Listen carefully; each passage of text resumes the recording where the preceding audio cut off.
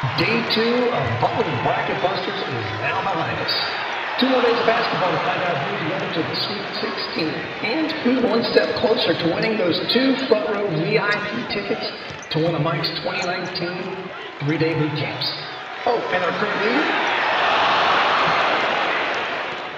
Is that surprising to some? No. But it could all change after today. We just have to wait and see.